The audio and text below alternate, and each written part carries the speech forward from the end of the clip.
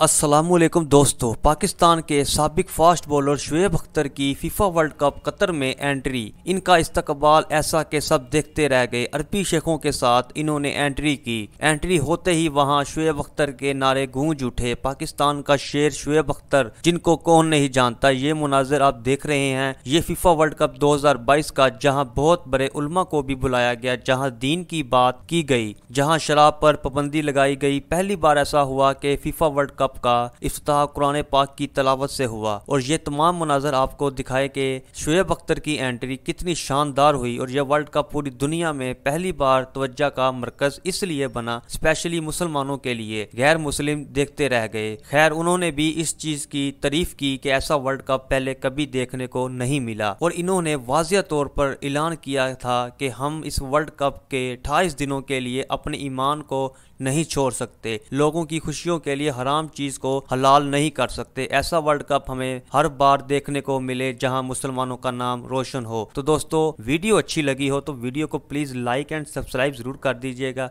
चलते हैं। अल्लाह हाफिज़।